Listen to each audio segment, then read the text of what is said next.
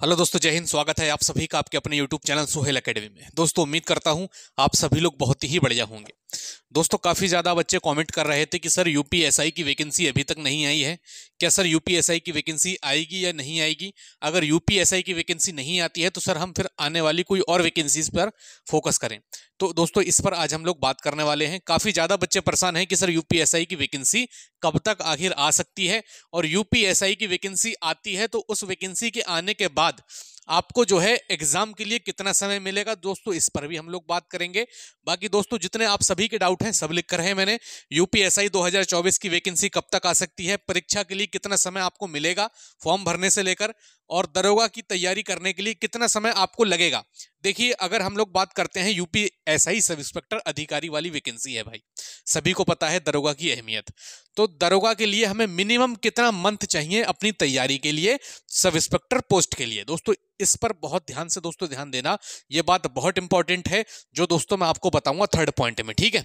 किस सब्जेक्ट पर ज़्यादा हमें फोकस करना है दोस्तों, ये भी देखेंगे।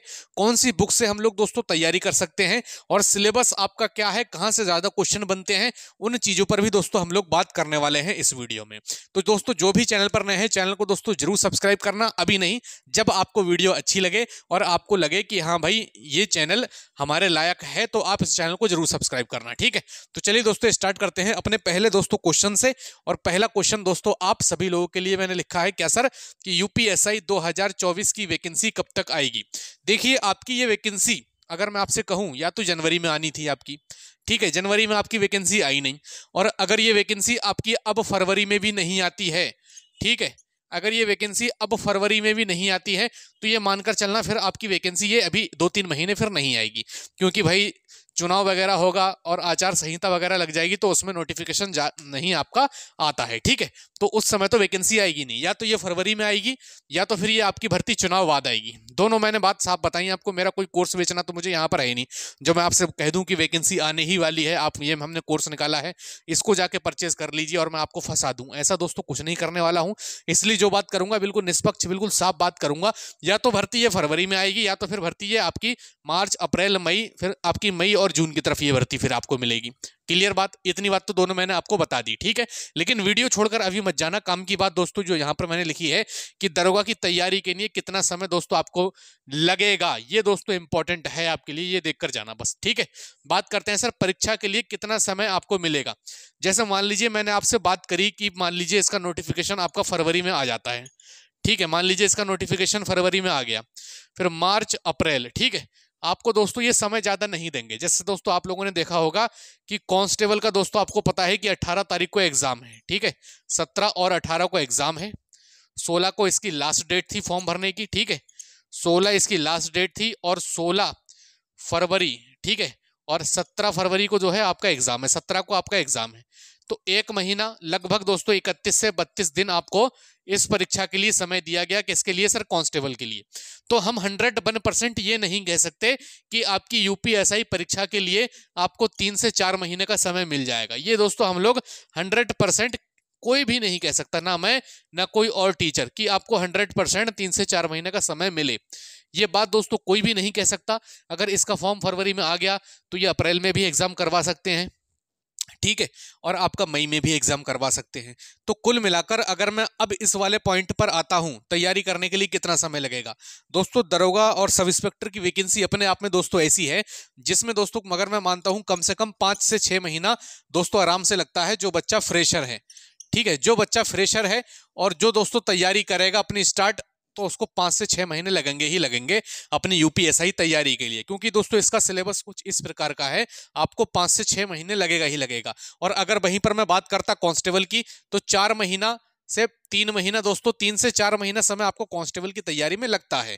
तो ये समय वो है, दोस्तों, जो तैयारी में लगता है आपका, ठीक है? इन वैकेंसीज के लिए। बाकी यूपीएसआई के लिए पाँच से छह महीने, दोस्तों, चाहिए ही चाहिए, जो बच्चा शुरू से, दोस्तों, तैयारी करेगा। तो कहने का मतलब मेरा क्या निकला? मेरा कहने का मतलब ये निकला, दोस्तों, अगर मान लीजिए फरवरी में आपका नोटिफिकेशन आता है, ठीक है? मार्च, अप्रैल अप्रैल, मई मई में आपका, दोस्तों एग्ज़ाम करा देते हैं तो आपके पास इतना समय नहीं है, फिर आप इस सिलेबस को कंप्लीट कर पाओ, क्योंकि ये सिलेबस बहुत बड़ा है। और अगर जो बच्चे यूपीएसआई के लिए सीरियस हैं, ठीक है कांस्टेबल के लिए इतना ज़्यादा नहीं है यूपीएसआई ही उन्हें जाना है तो उन्हें तैयारी दोस्तों अपनी लगातार करना पड़ेगी, तभी सिलेक्शन होगा। और अगर नोटिफिकेशन आने के बाद आप लोग सोचेंगे तैयारी करें तो फिर यूपी कांस्टेबल में जैसे बच्चों का हाल हुआ है, आप लोगों का भी दोस्तों वही कुछ ना कुछ हल हो जाएगा। यूपी कांस्टेबल वाले बच्चे भी बहुत परेशान है, अब यही कह रहे हैं कि, सर, अब कुछ नहीं होगा हमारा, अब हमसे नहीं हो पाएगा, हम हार मान चुके हैं। तो बस तो कारण तो यही है कि वो बच्चे नोटिफिकेशन आने के बाद तैयारी करते हैं। वो बच्चे पहले से ही अगर तैयारी कर रहे होते तो कम से कम उनका साठ परसेंट तो सिलेबस तैयार होता। ये तो कह सकता हूँ मैं कि अगर आप पहले से तैयारी कर रहे होते तो साठ परसेंट आपका सिलेबस तैयार होता। तो कहने का मतलब ये है, अगर आप किसी भी वैकेंसीज के लिए सीरियस हैं तो उसकी तैयारी दोस्तों आपको स्टार्ट करना पड़ेगी। नोटिफिकेशन आने के बाद आपको कुछ भी दोस्तों ना करना पड़े।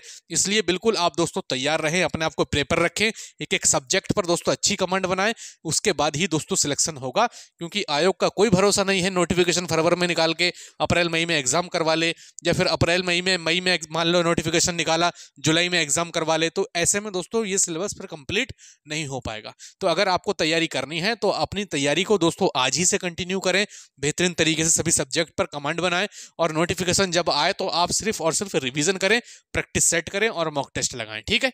इतना काम दोस्तों आपका होना चाहिए। किस सब्जेक्ट पर आपको ज़्यादा फोकस करना है? देखिए यूपी पुलिस का चाहे कांस्टेबल का हो, चाहे ऐसा ही, कोई भी हो आपको दोस्तों रीजनिंग तो बहुत बढ़िया करनी पड़ेगी, आपको हिंदी दोस्तों बहुत अच्छी करनी पड़ेगी और यहाँ पर मूल विधि और संविधान आपके लिए बहुत इंपॉर्टेंट हो जाता है, क्योंकि दोस्तों अगर यहाँ पर 40 क्वेश्चन बनते हैं जीके जीएस और मूल विधि के तो 40 क्वेश्चन में से 25 क्वेश्चन दोस्तों आपके बनते हैं किसके? मूल विधि के और प्लस आपके संविधान के। ठीक है? तो इनके 25 क्वेश्चन बनते हैं, बचे 15 क्वेश्चन ये 15 क्वेश्चन में दोस्तों आपका पूरा जीके जीएस होता है, चाहे हिस्ट्री हो, चाहे पॉलिटी हो, चाहे इकोनॉमिक्स हो आपका, ठीक है? हिस्ट्री हो पॉलिटी हो इकोनॉमिक्स में जियोग्राफी आपका करंट अफेयर आपकी यूपी जी के ये सब चीज़ दोस्तों कितने क्वेश्चन में आती है? पंद्रह क्वेश्चन में। बाकी पच्चीस नंबर दोस्तों, पच्चीस क्वेश्चन आपके मूल विधि और संविधान के ही दोस्तों आपको देखने को मिलते हैं। गणित में चालीस क्वेश्चन आते हैं दोस्तों, जिसमें से कम से कम दोस्तों बारह तेरह क्वेश्चन रीजनिंग के मिलेंगे मेंटल एप्टीट्यूड के और बकाया क्वेश्चन आपको अर्थमेटिक गणित के मिलेंगे। तो ये दोस्तों, इसका क्या है सिलेबस है, ठीक है? 160 क्वेश्चन दोस्तों, आपसे पूछे जाते हैं 400 मार्क की परीक्षा होती है 120 मिनट का दोस्तों, आपको समय मिलता है यूपीएसआई परीक्षा के लिए। इसमें दोस्तों, कोई भी निगेटिव मार्किंग नहीं होती है, पैंतीस परसेंट हर एक सेक्शन में आपको करना होता है और पचास परसेंट ओवरऑल दोस्तों, आपको जो है नंबर लाने होते हैं यूपीएसआई के लिए। ये दोस्तों, इसकी क्या थी? पूरी जानकारी है। और नेगेटिव मार्किंग दोस्तों इसमें होती नहीं है। बाकी जो बच्चे सेल्फ स्टडी कर रहे हैं तो यूपीएसआई के लिए दोस्तों एक स्टडी गाइड आती है, बहुत अच्छी गाइड है। ये दोस्तों चक्षु पब्लिकेशन प्रकाशन की है, जो आपके यूपीएसआई के बिल्कुल सिलेबस पर आधारित है। यहाँ पर आपको मूल विधि संविधान बहुत बढ़िया तरीके से दिया गया है। उसके बाद क्वेश्चन भी दिए गए हैं, जिससे आप अपने चैप्टर को बहुत अच्छी तरीके से रिवाइज कर पाएँगे प्रैक्टिस कर पाएँगे। तो इसमें चार सॉल्ट पेपर प्रीवियस ईयर के मिलेंगे आपको। बत्तीस प्लस बहुविकल्पीय प्रश्न मिलेंगे, जो मैं बता रहा हूँ चैप्टर के हिसाब से आपको मिलते हैं। और इसमें दोस्तों बहुत बढ़िया तरीके से ये स्टडी गाइड आपको देखने को मिलती है। अच्छी खासी दोस्तों बढ़िया मोटी स्टडी गाइड है, क्योंकि मैं आपसे कही रहा हूँ कि यूपीएसआई एक ऐसी भर्ती है, जिसमें दोस्तों आपको पाँच से छः महीना लगेगा अगर आप फ्रेशर हैं तब। और अगर आप यूपी कांस्टेबल की तैयारी कर रहे हैं तो आपको अपना लेवल को दोस्तों बढ़ाना पड़ेगा यूपीएसआई के लिए, ठीक है? तो दोस्तों, ये जानकारी थी जो आपकी यूपीएसआई की है। तो उम्मीद करता हूँ दोस्तों, वीडियो आप सब लोगों को पसंद आई होगी। और वीडियो अगर अब आपको पसंद आई है तो आप चैनल को दोस्तों ज़रूर सब्सक्राइब कर सकते हैं। बेल आइकन ज़रूर दबा देंगे दोस्तों, वीडियो अच्छी लगे तो सभी दोस्तों में शेयर ज़रूर कर देंगे, ठीक है? मिलते हैं नेक्स्ट वीडियो में, तब तक के लिए जय हिंद, जय भारत।